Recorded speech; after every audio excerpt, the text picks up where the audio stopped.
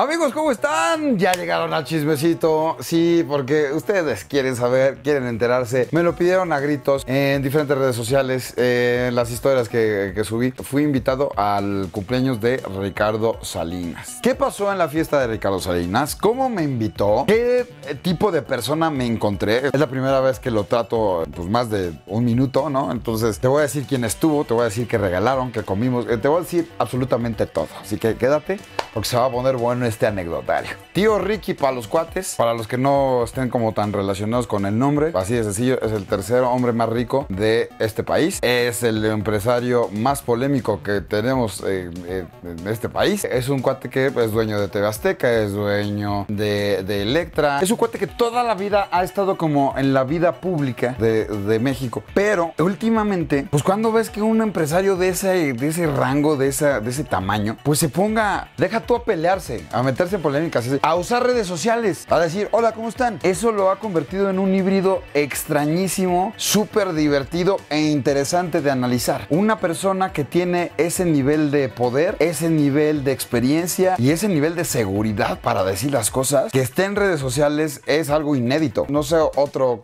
que, que con sus mismas características, ¿no? Entonces el güey dice lo que dice y le vale madres. Le vale madres lo que opinen los demás, le vale súper madres si pisa un callo, si alguien le molesta, si alguien le contesta, ahí no le vale madres. Porque lo que le vale madres es responderte a ti cualquier cuestionamiento, insulto o lo que sea. Por eso les digo que es un híbrido, es una combinación entre este empresario importante con su reputación, con su pasado, con el poder que sabemos que tiene en muchos sentidos, no solamente adquisitivos, sino en cuestión de, de, contactos a nivel empresario, etcétera, etcétera. Pero al mismo tiempo ha sido un cuate que se ha eh, puesto al nivel de cualquier persona para contestarle de tú a tú, sin el mínimo cuidado de, eh, usar una palabra u otra, va con todo. Y además, no solamente con la gente de a pie, sino contra los políticos, sino contra los conductores, sino contra ex trabajadores de su empresa, con quien sea. Es una cosa rarísima, como se lo digo, divertidísima. El punto es que dentro de todas estas cosas extrañas que sucede, surrealista, yo creo que se puede ilustrar justamente ese día y lo que y muchas de las cosas que él hace junto con su equipo. Como venía su cumpleaños 67, decidió hacer una fiesta. Y como quiso hacer una fiesta, como para variarle, pues dijo, pues voy a invitar a algunos de mis seguidores, ¿por qué no? Entonces puso esta imagen donde decía que básicamente quería invitar más o menos como a seis seguidores normales, o sea, sin ninguna característica especial, sin, sin, sin que tuvieran grandes números, y seis como influencers. No dijo cuál iba a ser el criterio, no dijo nada que tradujera un poco las intenciones, está extraño, ¿no? Entonces yo sé que de, de algunos de los, de los eh, tuiteros con los que había interactuado, ¿no? Con los que ubicaba más o menos, los invitó, pero les digo, gente que, que no es famosa, que no se dedica a la vida pública, ¿no? Criterio tan random como que el primer güey que le contestó también lo invitó y el escorpión dorado también recibió su invitación. Estoy pensando comprar parte de las instalaciones, ¿cuánto me la dejan?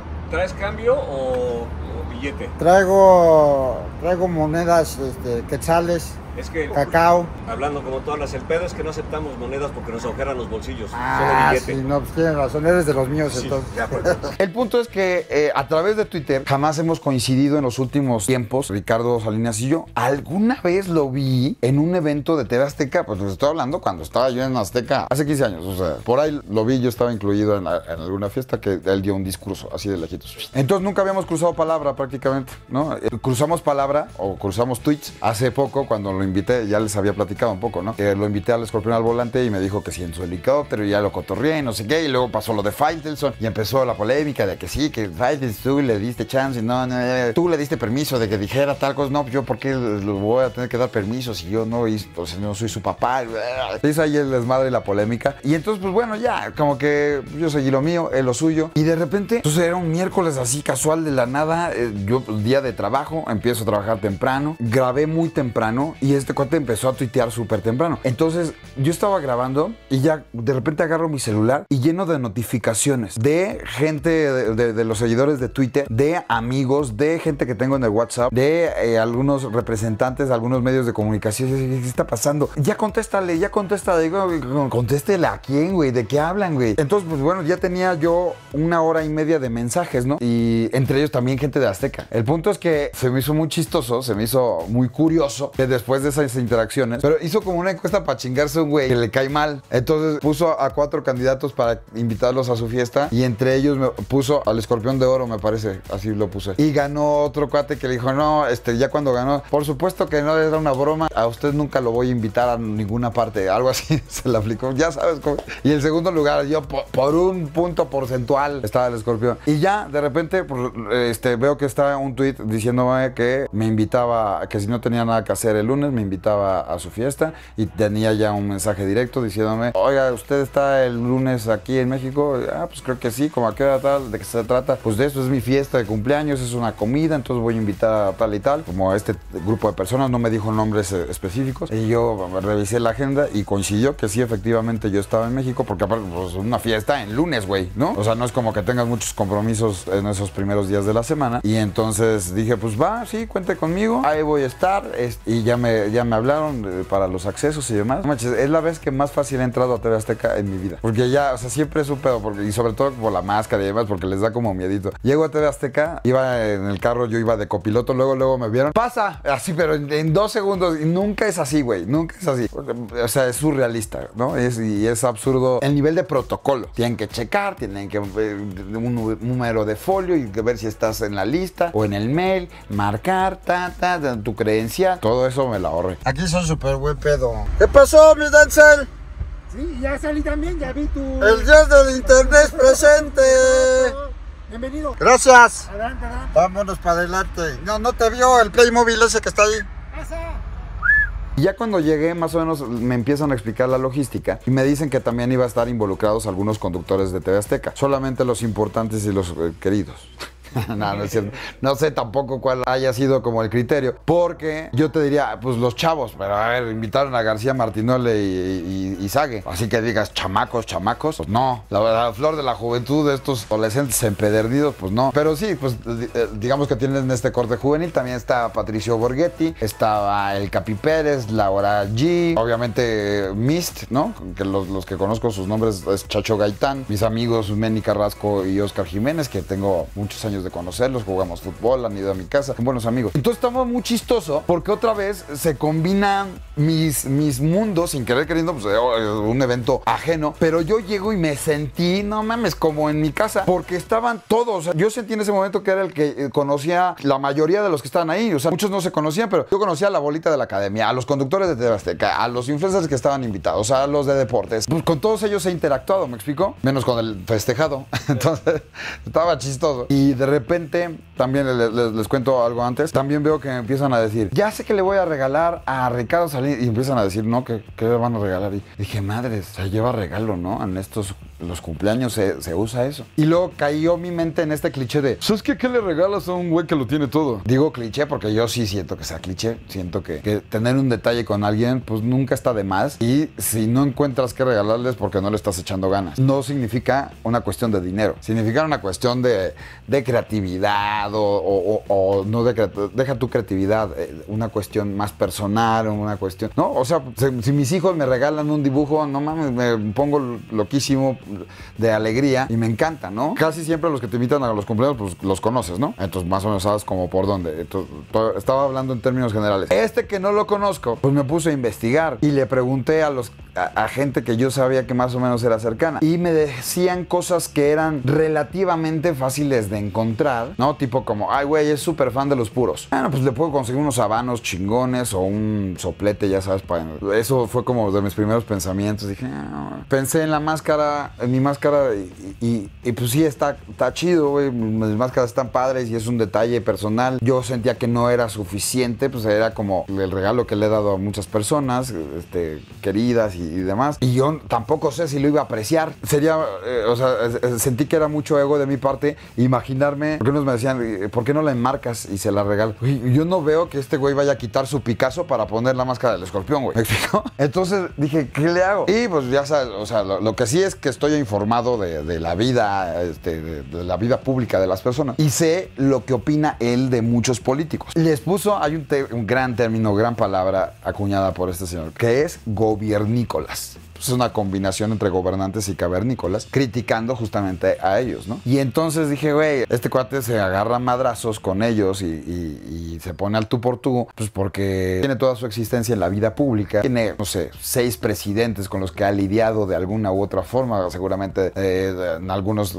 con mejor relación que con otros. Y el punto es que, digo, está muy cagado que eh, hacer una analogía de, cómo se enfrenta a ellos, entonces se me ocurrió una especie de, ya sabes, como de parodia o de tributo al cine de luchadores, pero, ¿no? De que del santo contra las momias, ¿no? O, algo ya que tenga que ver con, más, con otra cosa que me encanta, que son los superhéroes. El punto es que lo aterricé a un cómic. Dije, no, estaría muy cagado que sea Ricardo Salinas contra los gobiernícolas. Que no mames, qué gran idea, güey. O sea, me aplaudí a mí mismo.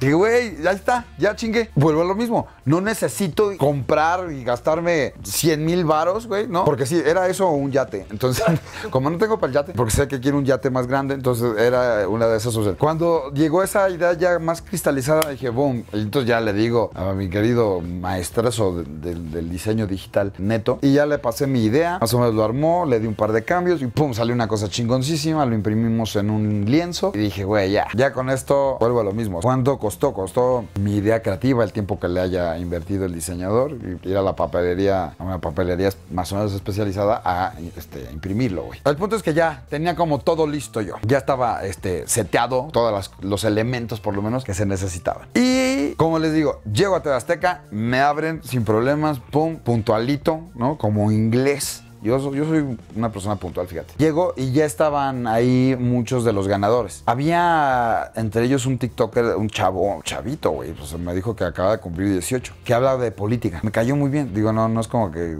platicáramos mucho, pero me cayó buena vibra y otros tantos que estaban por ahí. Soy súper malo para los nombres. Soy muy bueno para las caras, muy malo para los nombres. Y ya, obviamente, pues llegué yo de escorpión desde el principio. Me puse acá mi capa de Jon Snow, llegué con este, mi máscara. Ya después, en perspectiva, les digo, no manches, aguantar la máscara tanto tiempo es un pedo. Parte de la voz. Ya se los he platicado en varias ocasiones. Algunas personas me dicen, "Eh, ¿sientes mucho calor? No, no se siente nada de calor. Una presión en la cara. Es como un almohadazo completo. El diseño de máscara que tengo, pues es abierto. Entonces puedo respirar perfectamente. Todo lo demás es sentir así, güey, ¿no? Y me empezó a doler la cabeza en algún momento de la, de la, de la tarde. Llegué a las 6 y llegué a mi casa a las 2 de la mañana. Entonces date cuenta, quítale una hora, ¿no? Ya al final de la fiesta me estaba ya poniéndola como, me la pongo luego como de gorra, porque ya no lo aguantaba, ¿no? Ya estaba, y aparte ya había grabado mucho. Todo es gratis como Google, ¿no? La comida y todo. No, ni madre, la comida no, pero.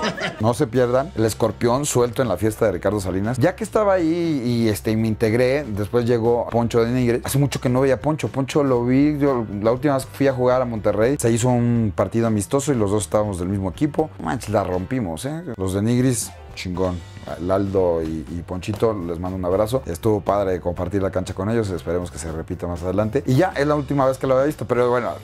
No es lo mismo convivir con Ale- Alex que con el escorpión. Entonces, de entrada empezamos Poncho y ya a chingarnos. El, este, bueno, el escorpión y Poncho a chingarse. Aquí, miren, les presento. Aquí fue la primera vez que salió una nota de la tigresa con Poncho de Nigres. Acompáñenme, becas. Y dijeron, no, vamos a hacer un, un tourcito. Pues obviamente iba mucho más para los, los chavos, ¿no? Para los que era la primera vez que iban a la televisora. Entonces nos pasaron por los foros, los pasillos, etcétera, etcétera. Y aunque era para ellos, ¿no? Porque yo conocía muchas de las cosas que nos mostraron, pero sí ha He ido, pues hace poco fui aventaneando, ¿no? Pero no es como que fuera de tour, sino pues entras al foro y ya. No, mames, le han invertido, cabrón, un aplauso para Azteca, güey. O sea, neta, ahora sí que los que estén ahí de por primera vez, pues igual no lo valoran y lo ven chingón, pero pues normal. Pues no era así. O sea, sí le han metido a la cuestión creativa unas, unas como incubadoras para que tengan jun- juntas acá como más en una libertad, más allá de unas paredes medio godines. Y tienen una zona de comida que le hicieron así gigante, güey. Antes había una tiendita. Hoy hay- ahorita hay como 20 locales, güey, de diferentes tipos de comida. Un auditorio, muchos de los estacionamientos, muchos de los pisos de los estacionamientos, del estacionamiento, los convirtieron en todo esto. Lo hicieron muy bien. Sí quedé sorprendido en ese, en ese sentido. Sí, estaba cagado. Y luego, ah, por si fuera poco, de todas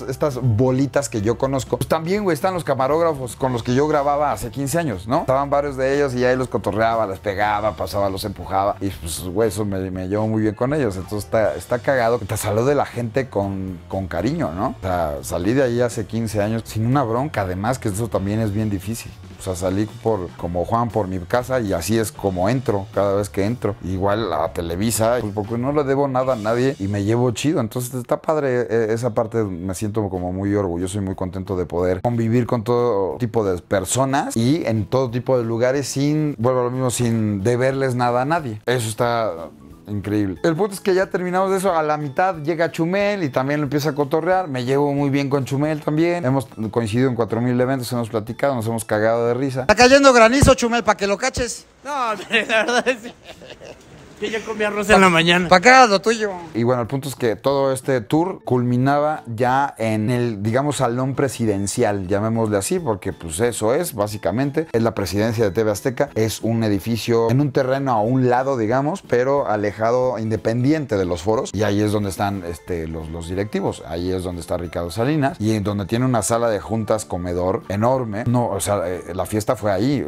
tiene un salón prácticamente, ¿no? Y entonces en el camino se fueron uniendo algunos de los conductores de TV Azteca, muchos de los que ya son buenos cuates, ¿no? Martinoli y García, me llevo muy bien con ellos, yo los veo como, como mis carnales mayores, muy mayores, pero me llevo muy bien con ellos. Ta- Tabata, el Capi hace mucho que no lo veía, después de que intercambiamos algunos tweets intensos, que la gente dijo que nos peleamos y demás, pues realmente pues, no pasó de ahí. No habíamos coincidido en persona y ya platicamos, güey, como si nada. Pues la sangre, pues, no, no, no sé si aplica esta frase, porque casi siempre se aplica para la familia, pero así es como lo veo yo, Capi. La sangre llama. Entonces, en cuanto llegas, conectas con esa persona que sabes que tienes un chingo de cosas en común, que, que son amigos, que, que hay muy buena, muy buena onda. Entonces llegué con el Capi y él me recibe y yo interactúo con él súper chingón, muy natural, cagamos de risa, nos lo pasamos bien. ¿Cómo tocar- estás? Voy a ser tu mesero. Qué bueno. ¿Cómo te ha ido, Sergio Sepúlveda? Muy bien, gracias a Dios. Llego, estaban cantando los de Mist. Estaban ahí, este, como se les dije hace rato, Oscar y Meni, buenos amigos desde hace ya rato. Estaba Chacho Gaitán, que siempre lo he saludado así como de lejos. Y ahora, pues tampoco hubo tanta chance de platicar, pero ahí echamos desmadre cuando se pudo. Eh, había una comida, una- un menú con los tiempos de la, de la cena, ¿no? ¿no? es como que tuvieras una carta, tampoco es como que te dieran hamburguesas este, de comida rápida, pero te decían que iba a haber en cada momento. Y ya, pues comimos, muy rica la comida. Hubo un momento en el que empezamos a debatir de la vida, de la política, del deporte, del fútbol, etcétera, etcétera. El facilitador lo que te va a dar es de, vas a tener... Si yo no tuviera un entrenador Ajá. que nos juntara, que nos motivara, pues también cada quien va a hacer lo suyo, ¿no? En esa facilidad. Correcto. En esas formas de facilitar tu trabajo. Porque lo tuyo es pintar y el, el otro... Por o sea, eso, pero tienes también, también un líder. Sí. dos delanteros, mira. Uno y No, pero. Pero uno era cazagoles. Yo creo que ustedes dos, pues han vivido eso mejor que nadie. Yo siempre estaba en personaje chingando a todo mundo, jugando con todo mundo y este, nos estábamos riendo mucho, güey. O sea, la verdad es que se armó un muy buen ambiente, tan buen ambiente que Ricardo, ah, déjenme decirles el primer encuentro, ya estábamos en la salita, como en, en- en esta sala de espera antes del comedor y entonces va llegando Ricardo y ya empieza a saludar, le saludó como a tres, cuatro, yo habré sido como el cuarto, quinto que saluda y yo traía ya el pergamino que le iba a regalar, el, eh, el póster que les digo. Y entonces dije, ¿sabes qué? Pues yo no sé qué momento iba a ser lo de la regaliza, pero yo tomé la delantera y dije de una vez, a ver, ahí le va el regalo, pum, se lo doy. Y todos así, güey, no. Ricardo fascinado, obviamente jamás se lo esperaba, estaba muerto de risa. Primero lo checa, lo analiza, ya que lo ve y lo aprueba, ahora sí se toma la foto, ya se puso, pues sí, no, güey, no nos conoce. O sea, eso está cabrón. La mitad de los que estamos ahí jamás habíamos visto a Ricardo ni él a nosotros en vivo y no sabíamos qué tipo de personas eran. O sea, está cabrón. Yo no sé qué, cuál fue el criterio para invitar a tal o cual persona. Imagínate que invitar a alguien, un infiltrado, güey, no mames. Estaba arriesgado, pero así lo, lo hizo junto con su equipo. Son, son, son, son, este, rivales peligrosos estos, ¿eh? No sé si reconozcas No hay a alguno. pensar, ¿eh? Ay, güey, ya me vas a meter en pedo. ¿Reconoces alguno? A ver. ¿Alguna silueta o algo así? No, ¿Alguien canoso por fal- falta la senadora.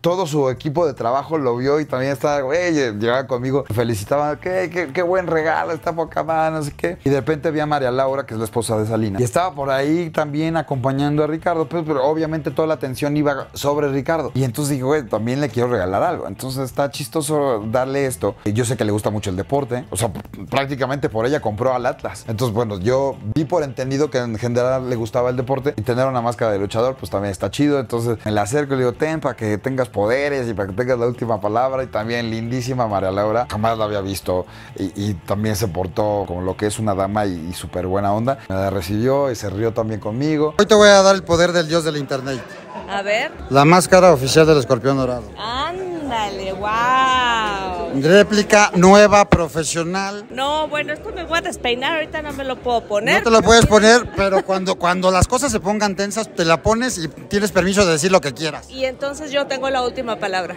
Por supuesto que sí. Buenísimo, qué buen regalo, muchas gracias. Y entonces ya todos los demás les em- le empezaron a dar eh, regalos. Nos pasaron a la comida. Antes, pues ahí estuve, te digo, co- cotorreando con todo el mundo, platicando de, pues, de los contenidos, de la vida, del amor. Al principio todos nos metimos y empezamos a buscar este, dónde sentarnos, ¿no? ¿Dónde será mejor? Enfrente, a un lado de él. En la cabecera. Bueno, eh, resulta que ya estaban los nombres de dónde te sentas. sí, para que no, hubiera ningún vivo. Yo había escuchado por ahí que parte de la organización era la distribución, digamos. Era para como que no todo mundo abarcara, quisiera agandallar a, a Ricardo y nada más platicara con él, sino que estuviera muy balanceado entre el talento y la gente de, de invitados, digamos que random, ¿no? Que no son, digamos que figuras públicas. Ricardo y su esposa estaba aquí en medio. A mí me pusieron aquí, güey, enfrente, lo tenía enfrente. Y a los lados ya me pusieron a otras personas que habían ganado de Twitter. Y yo sé que también gente que no le cae tan bien, pues como Poncho de Nigris lo mandó hasta allá, igual que es cierto. Eh, Estaban distribuidos random, pero yo estaba enfrente de él. Chumel de repente hizo ahí un cambalache, le, le cambió el lugar para ponerse junto a mí. Pues quiere sentir calor de, de hogar, ¿no? Este, buen. Ya sé, pinche Chumel está enamorado del escorpión y, y quién soy yo para negárselo, ¿no? Empiezan a cantar otra vez el grupo y Ricardo empieza a saludar a cada uno, ¿no? Pues como luego lo haces en, las fiestas, pues sobre todo en las bodas, ¿no? Que vas a su mesa. Aquí nada más iba a su silla, entonces ya le, le tuvo que dar la vuelta a la primera mitad ya para llegar conmigo y ya me saluda. ¿Qué les puedo decir de Ricardo? Súper amable. Por ahí había escuchado como que iba a hacer todo como muy estructurado de a tal hora esto, esto, esto, esto y ya me voy. Pero como que empezó a aflojar Ricardo y empezó a reírse y a disfrutar el momento y a dedicarle a cada uno más tiempo y más tiempo y empezó a querer enterarse y a saber, porque imagínense, o sea, les estoy diciendo que se da tiempo para usar redes sociales, ¿sí? pero imagínate todas las cosas que hace en el día a día. Entonces no está tan enterado, pues porque supongo que no le interesa mucho y no le hace gran ruido en su existencia, eh, saber la vida de los demás. Entonces, entonces, pues sabe cosas por encimita, ¿no? De repente, Denigres estaba hablando, no sé, algo así como, no, ya ves que mi hermano, si supiste cuando falleció, y la respuesta de Ricardo fue, ¿tienes hermanos? Entonces fue, no mames, o sea, todos los que sabemos de fútbol, sabemos que son tres Denigres, que este, uno falleció, que era futbolista, el otro también era futbolista, y, Denigris, que es la oveja negra, ¿no?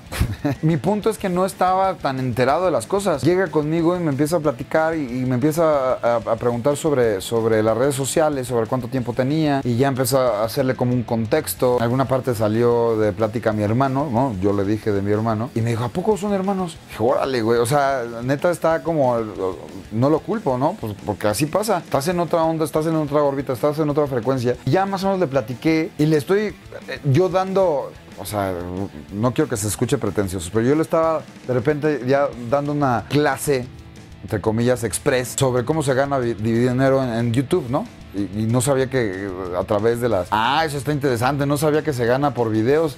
¿Quién se está chingando la lana de TV Azteca de YouTube? No, hombres, Ricardo, reclámales a tu gente de redes sociales porque sí está generando dinero todos tus canales y quién sabe quién se lo está quedando. Nada más te aviso. Entonces, este, pues ya se enteró en ese momento que se puede monetizar en Google, en YouTube. Cada día se aprende algo nuevo. Incluso Ricardo Salinas Pliego aprendió algo que no sabía esa noche. Pasaron, echaron desmadre, de repente se volvió ahí como un carnaval. Trajeron el pastel, ya cada quien perdió un poco sus asientos, pero empezamos a cotorrear entre nosotros. Estaba en un lugar donde había varias personas que, que me caen muy bien, entonces iba de repente a platicar con Sague, con García, con Martinoli, con El Capi, con Laura, con, obviamente con el mismo Chumel. Hasta me metí a la cocina, literalmente, porque me querían saludar la gente que trabaja ahí para el- en el comedor de ejecutivo. Pasé y los cotorgué, entonces estaba bien padre. En cada momento, y nada fue forzado. Eh, Hubo un momento en que les digo que estaban ahí, ahí cantando y son muy buenos amigos los, los cantantes que están Yo les enseñé a cantar, de hecho.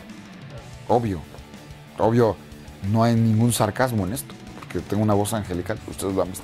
Nada, son buenos amigos, entonces te prestaban el micrófono, eh, echabas desmadre. Ya se convirtió en un karaoke, güey. No, estaba, sí, de hecho sí tenían como la letra de las canciones. Es todo un show que tiene Mist. Y entonces no cantan las canciones completas, cantan ciertas partes y entonces cambian a una y a otra y a otra. Es como si fuera un DJ en vivo. Y entonces tienen diferentes arreglos y ya, pues te pasaban el micrófono, empezabas a cantar. Eh, en algún momento yo estaba ahí intenciando con el Capi hablando de la vida, del amor y eh, ya estaban cantando. Y entonces ya me acerqué cuando empezaron otras canciones que me gustaban y ya me pasaban el micrófono y ya empecé a cotorrear. Para eso Ricardo también estaba platicando con otros. Entonces pues, todo el mundo estábamos ahí como circulando, ¿no? Voy con Ricardo, y me lo cotorreo, este, le digo algún chascarrillo y se caga de risa y se une aquí al, al desmadre y seguimos cantando. Le encanta cantar. Bueno, no sé si le encanta cantar. Alguien me dijo, güey, lograste que cantara, lograste que se metiera acá.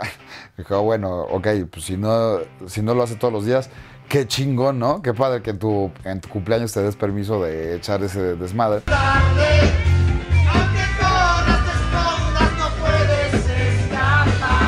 Como se los digo, las cosas iban a ser como, pues no sé si tanto como comes y te vas, pero terminamos saliéndonos a la una y media de la mañana, güey. Sí dieron regalos, eso es cierto. Había sobres con regalos, este, cada uno le recibía uno, y, este, y lo abría y salía todo tipo de cosas como una bicicleta eléctrica, una motocicleta, un, un televisor, un celular. Me tocó una tablet. El escorpión, a ver qué, qué dice. A ver. No fue invitado, ¿no?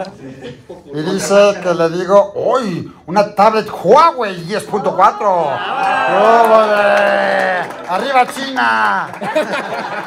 Y ya como que termina la fiesta así, bueno, así ya corte, porque la música era lo que lo mantenía vivo, así como... Y ya dije, sí, ya vámonos.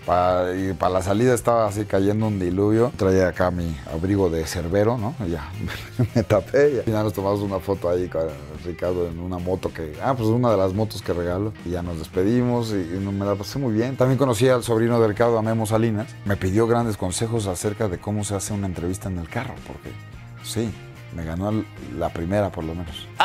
¡Ay, eso es interesante! Ya llegamos a eso. Sí, saludos Memo, también tipazo. Este, pero bueno, obviamente yo quiero mi entrevista de Ricardo Salinas al volante, ¿estamos de acuerdo? Esto es lo que dijo. Pero el escorpión al volante, ¿para cuándo? Cuando usted diga, señor Escorpión. Ah, ya aceptaste. Ya está, ya Eso. claro que acepto. Ya aceptó, espero que no sea de dientes para afuera, pero el punto es que Ricardo ya me dijo que sí, lo lograremos. Yo digo que sí, ¿estamos de acuerdo? Ricardo Salinas es un hombre de palabra, estoy totalmente convencido de ello. Este, vamos a ver qué tal. Va a estar divertido, ya les avisaré, ya se los publicaré y, les compartiré los videos aquí a través de las redes sociales. Eh, mientras tanto, ya les dije mucha adelantada, güey. Los que me siguen en redes sociales, síganme, por favor. Los que no me siguen, síganme. Los que me siguen se enteraron en las historias. Y además, ahora en el anecdotario. Gracias por darle play. Espero que nos veamos la próxima. Tenemos un chingo de anecdotarios para ustedes. Mientras tanto, vámonos que aquí espantan. Yo soy Alex Montiel, pásala chido. Y nos vemos en el cine. Bye.